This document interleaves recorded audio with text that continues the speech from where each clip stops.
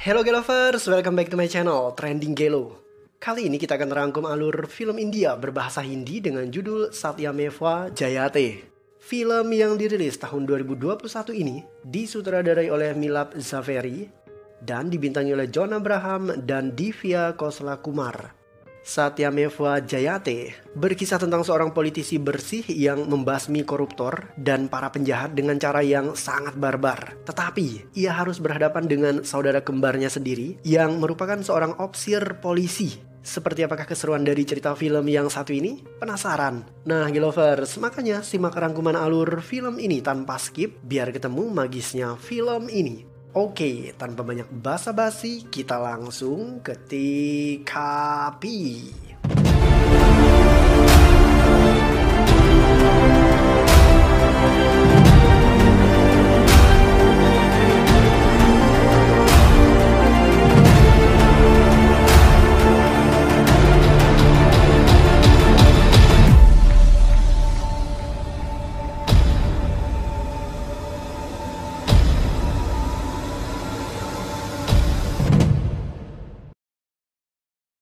Satya Balram Azad adalah menteri dalam negeri India. Ia seorang menteri yang bersih dan sangat anti korupsi. Satya mengusulkan rancangan undang-undang anti korupsi. Tetapi sayang, usulan Satya ditolak oleh seorang menteri bernama Yaswan. Yaswan adalah pemimpin partai oposisi. Ia tidak setuju dengan rancangan undang-undang tersebut. Menurut Yaswan, ayah Satya dulunya pernah memperjuangkan pemerintahan yang bersih dan anti korupsi. Namun, ia justru tewas terbunuh.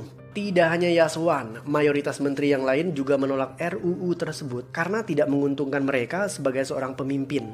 Alhasil, rancangan undang-undang anti korupsi gagal disahkan.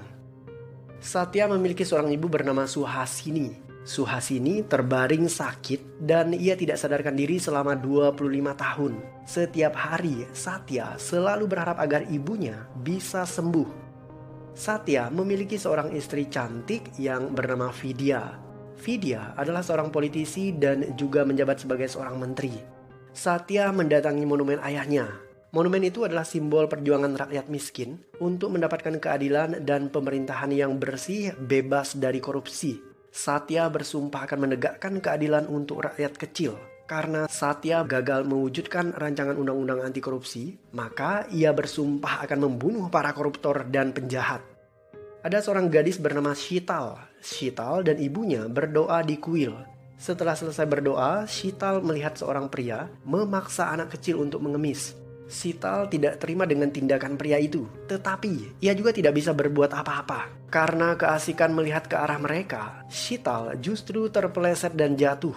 Sital segera dilarikan ke rumah sakit. Kebetulan hari itu para dokter dan pegawai rumah sakit negeri sedang melakukan aksi demo. Demo ini dipimpin oleh dokter Awasti. Mereka melakukan mogok massal dan menolak memberikan perawatan kepada para pasien. Alhasil nyawa Sital tidak bisa diselamatkan.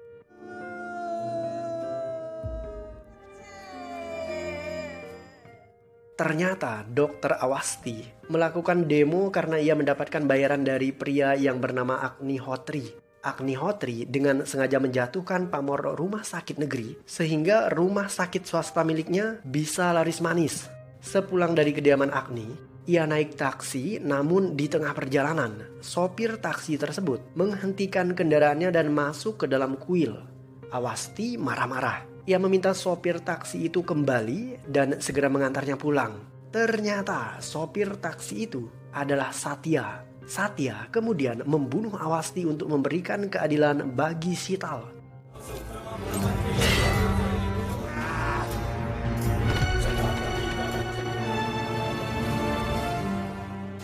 Ayah mertua Satya adalah seorang menteri yang bernama Chandra Prakas. Tuan Chandra dulunya adalah teman seperjuangan ayah Satya. Ia menjenguk ibu Satya yang sedang koma dan tidak sadarkan diri. Tuan Chandra menyesal karena tidak bisa menyelamatkan ayah Satya dari tragedi berdarah 25 tahun yang lalu. Menurutnya, jika saja ayah Satya masih hidup, tentu ibu Satya tidak akan menjadi seperti ini.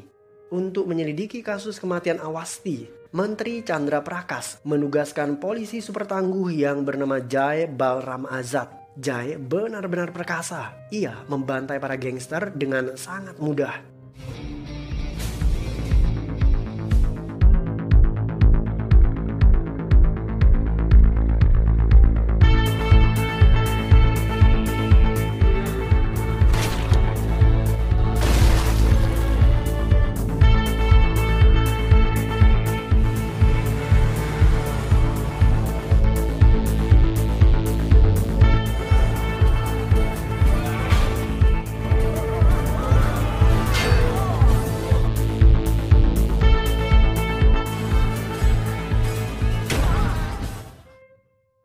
Sebelum bertemu dengan menteri, polisi Jai terlebih dahulu bertemu ibunya dan ia juga mengunjungi monumen ayahnya. Ternyata Jai dan Satya adalah saudara kembar. Satya merupakan saudara tertua dan ia lahir dua menit lebih awal dari adiknya. Nama mereka berdua diambil dari semboyan negara India yaitu Satya Meva Jayate.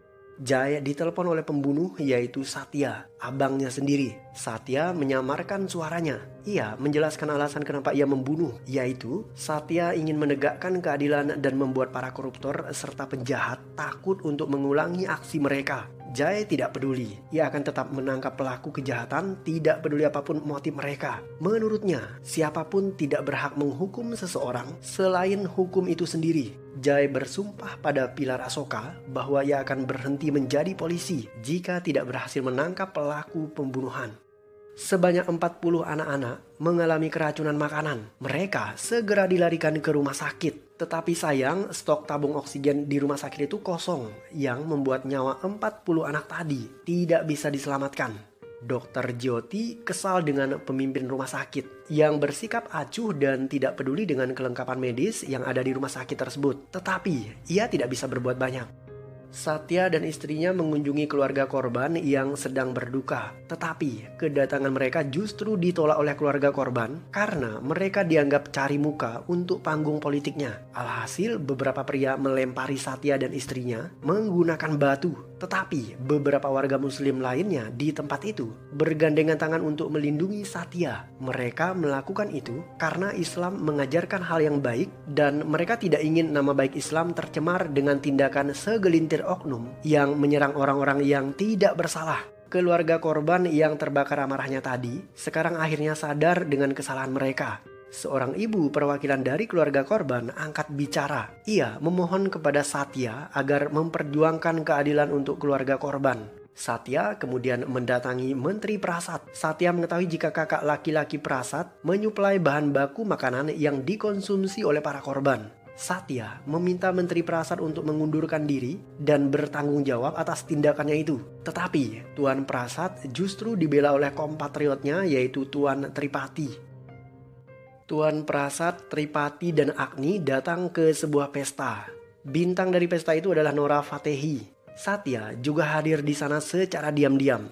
Ketika Agni mabuk dan bergegas mencari toilet, di saat itulah Satya membunuhnya.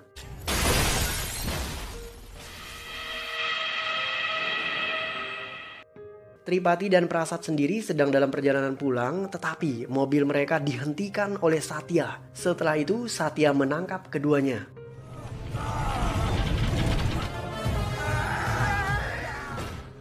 Ia kemudian memaksa mereka untuk makan makanan beracun yang dikonsumsi oleh anak-anak. Pada akhirnya, kedua menteri itu tewas akibat racun tersebut.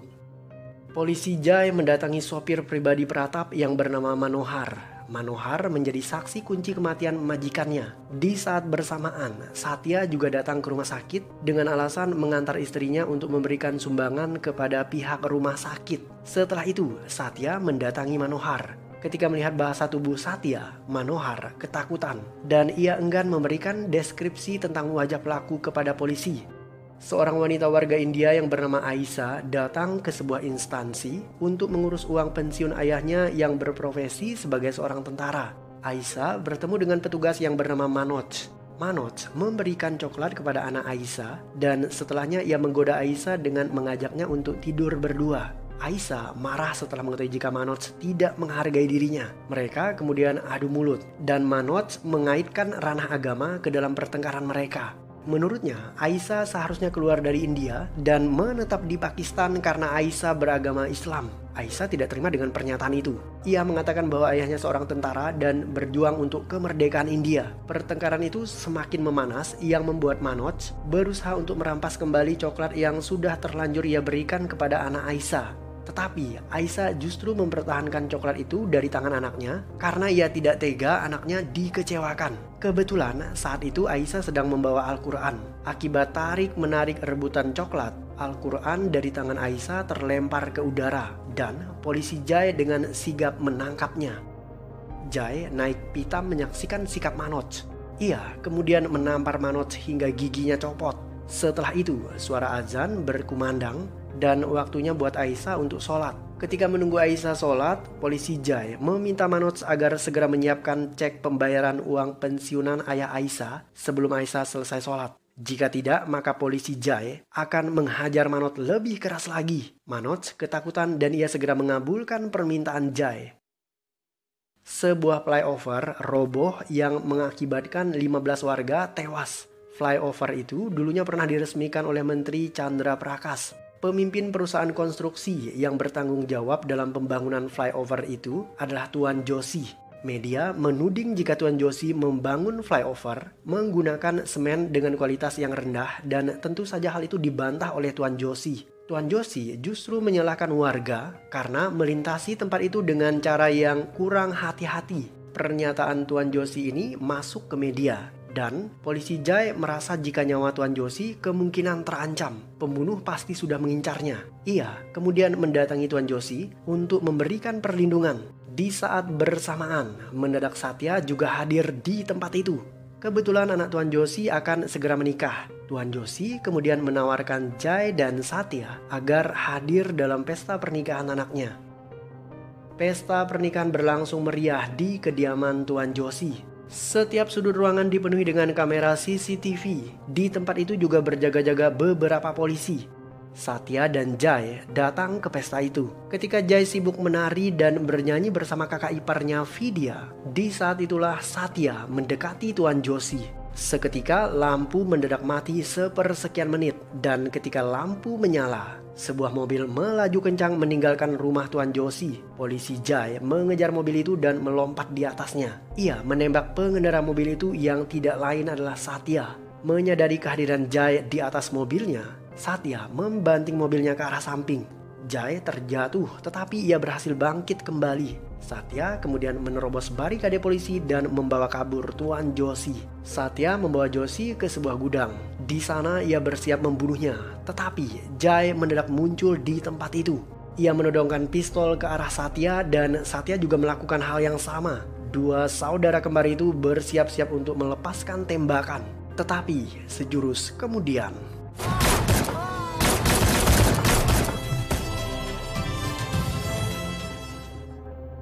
Jai dan Satya bahu-membahu menembaki Tuan Josi. Ternyata Satya dan Jai dua-duanya adalah pembasmi para koruptor dan orang-orang jahat. Satya dan Jai mendatangi monumen ayahnya. Di sana mereka teringat apa yang terjadi 25 tahun yang lalu. Satya dan Jai memiliki seorang ayah yang bernama Dada Saheb Balram Azad. Dada Saheb adalah seorang petani yang jujur dan baik hati. Ia gemar menolong orang-orang yang tertindas. Dada memiliki istri bernama Suhasini dan mimpi Dada adalah untuk menjadikan India bebas dari koruptor. Suatu hari, Satya dan Jai kecil berkelahi. Perkelahian itu segera dileraikan oleh sang ibu. Dada kemudian menasehati mereka berdua. Menurutnya, jika Jai dan Satya saling bersatu, maka mereka akan keluar sebagai pemenang. Sejak saat itu, Satya tidak pernah berkelahi lagi dengan saudaranya Jai karena mereka berdua selalu teringat akan nasihat ayahnya. Dada Saheb Balram Azad terkenal dengan kampanye anti korupsinya. Ia mendatangi gedung wakil rakyat untuk menyampaikan aspirasinya. Azad didukung oleh para simpatisannya tetapi aksi mereka justru disambut polisi dengan tindakan kekerasan. Ternyata polisi itu telah dibayar oleh ketua menteri yang bernama Yaswan. Dada tidak mau menyerah. Ia segera naik ke atas podium dan menyampaikan aspirasinya. Setelah melihat perjuangan Dada, semua orang berbondong-bondong untuk mengikuti Dada melakukan aksi damai menuntut pemerintah yang bebas dari korupsi. Aksinya itu kemudian mendapat sorotan media. Seorang menteri akhirnya turun tangan untuk bertemu Dada guna membahas tuntutannya. Di saat bersamaan, saudara ipar Dada yang bernama Sardara justru menderita penyakit kanker dan kondisinya semakin kronis. Sardara dibawa ke rumah sakit dengan ditemani oleh istri Dada, tetapi di tengah perjalanan mereka mengalami kecelakaan. Kesepakatan antara Dada dan Menteri untuk mewujudkan undang-undang anti korupsi hampir saja terbentuk, tetapi akhirnya batal karena Dada Saheb buru-buru pergi meninggalkan Menteri setelah mendapatkan kabar tentang kecelakaan yang menimpa istrinya. Sementara itu, di tempat kejadian, Sardara berhasil membawa Suhasini ke rumah sakit sekalipun dalam keadaan tertatih-tatih. Setibanya di sana, ia justru pingsan terkapar. Tidak lama setelahnya, Dada Saheb datang ke tempat itu. Tetapi sayang, Sardara justru keburu meninggal di pangkuan dada.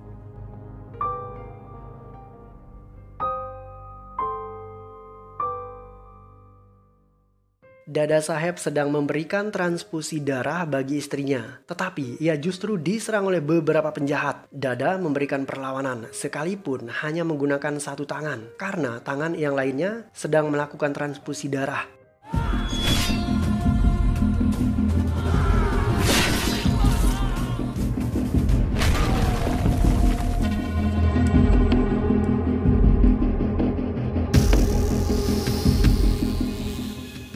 Dada Saheb terluka parah akibat diserang bertubi-tubi oleh para penjahat. Meskipun demikian, ia tetap tegar berdiri agar transfusi darah untuk istrinya tidak terganggu. Pada akhirnya, Suhasini tersadar dari pingsannya dan ia melihat satu tikaman pedang terakhir yang menghabisi dada Saheb. Suhasini hanya bisa menangis meratapi kematian suaminya. Setelah itu, teman Dada yang bernama Chandra Prakas datang ke TKP, tetapi semuanya terlambat. Setelah kematian Dada, Chandra Prakas mendirikan partai politik atas nama Azad dengan visi misi mewujudkan undang-undang anti korupsi. Ia ikut bertarung dalam pemilu dan berhasil menjadi menteri. Sedangkan Suhaini, ia kembali jatuh sakit dan tidak pernah sadarkan diri selama 25 tahun. Untuk mengenang perjuangan Dada Saheb, Chandra Prakas membangun sebuah monumen berupa patung Dada Saheb. Patung itu menjadi simbol perjuangan rakyat miskin untuk menegakkan keadilan dan memimpikan sebuah negara yang bebas dari korupsi.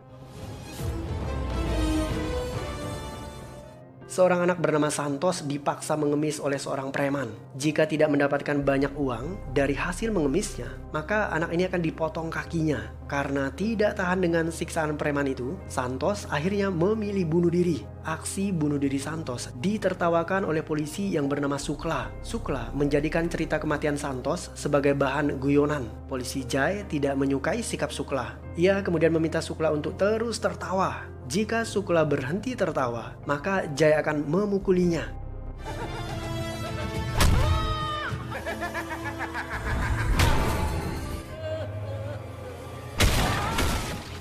Setelah kejadian itu, Sukla tidak pernah berani lagi untuk menertawakan sebuah kematian.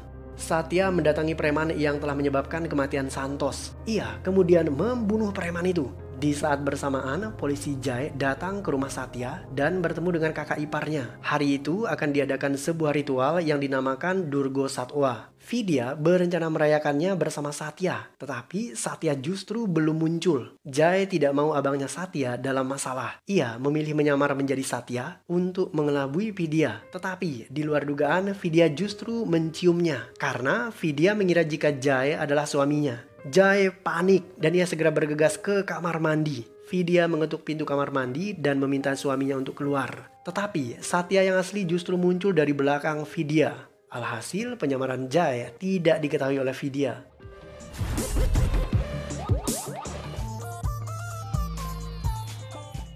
Ketika Vidya menyampaikan pidatonya di depan para simpatisan, seorang wanita yang bernama Jyoti muncul dan mengaku jika ia sudah diperkosa oleh tiga pemuda. Ketiga pemuda itu telah merenggut kemurnian Jyoti. Mereka adalah Ibat, Randir, dan Virak. Dan mereka bertiga ini adalah anak orang kaya dan terpandang.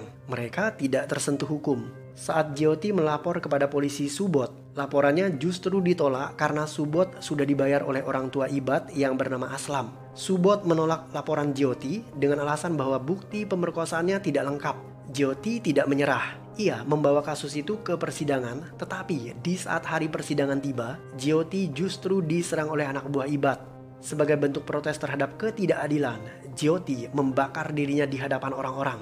Vidya segera menyelamatkan Jyoti dan membawanya ke rumah sakit. Beruntung nyawa Jyoti berhasil ditolong. Untuk membersihkan nama baiknya dari tuduhan Jyoti, polisi Subot bersandiwara. Ia berpura-pura menangkap ketiga pelaku tadi Subot meyakinkan Ibad dan teman-temannya bahwa Jyoti akan tewas di rumah sakit akibat luka bakar yang ia derita. Sehingga pengadilan tidak punya bukti yang kuat untuk menahan Ibad CS lebih lama. Sementara itu, Vidya tidak tega melihat penderitaan Jyoti. Ia meminta Jai dan Satya membunuh mereka yang telah menganiaya Jyoti, termasuk polisi Subot. Asru ka sanghar karne Satya menyerang mobil polisi yang mengangkut Ibat dan teman-temannya. Setelah berhasil membongkar atap mobil, Satya melempar tombak yang menewaskan dua penjahat sekaligus. Mereka adalah Randir dan Virak. Setelah itu, Satya membunuh Ibat dengan cara membakarnya. Mendadak polisi Subot menodongkan senjata ke arah Satya. Tetapi polisi korup yang satu itu justru diserang oleh polisi Jai. Si kembar Satya dan Jai dengan outfit yang juga kembar secara bersama-sama menghabisi polisi Subot. Setelah 25 tahun koma, ibu Satya akhirnya tersadar. Ia adalah saksi kunci pembunuhan suaminya Dada Saheb. Ternyata pembunuh Dada adalah sahabatnya sendiri, yaitu Tuan Chandra Prakas. Suhasini terkejut melihat kedua putranya sudah tumbuh dewasa dan wajah mereka mirip sekali dengan sang ayah. Satya dan Jai membawa ibunya ke monumen ayahnya.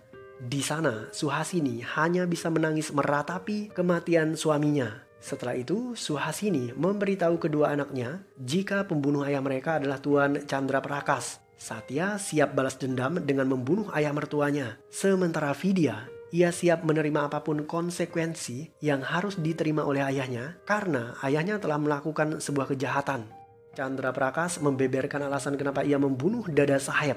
Chandra menginginkan kekuasaan dan ia memanfaatkan kematian Dada untuk menaikkan popularitasnya guna mendapatkan kedudukan. Setelah itu, Tuan Chandra membawa Satya dan Jai menemui ibunya yang sudah terlebih dahulu disandra oleh Chandra Prakas. Chandra menyiapkan permainan kematian untuk Satya dan Jai. Ia teringat ketika Satya dan Jai masih kecil, mereka dilarang untuk saling bermusuhan oleh ayahnya. Tuan Chandra Prakas memaksa mereka berdua untuk bertarung. Jika tidak, maka Chandra akan membunuh ibu mereka. Alhasil, Satya dan Jai terpaksa saling baku hantam dan mereka kemudian babak belur hingga jatuh pingsan.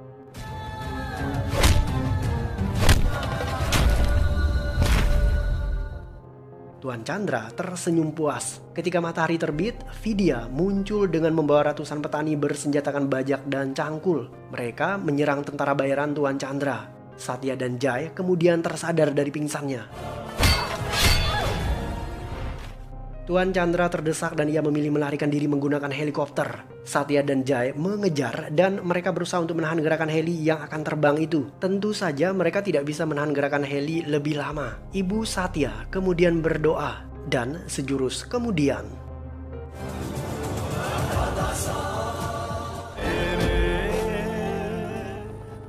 Satya dan Jai mendapatkan kekuatan dari doa seorang ibu. Mereka berdua merasakan ayahnya Dada Saheb hadir di tempat itu untuk membantu. Alhasil, sekarang ada tiga pemuda berwajah kembar yang menahan laju gerakan helikopter. Helikopter itu kemudian berhasil dihentikan. Satya dan Jai kemudian menghajar Tuan Chandra. Setelahnya, ratusan simpatisan pengikut setia Dada Saheb memukuli Tuan Chandra hingga tewas.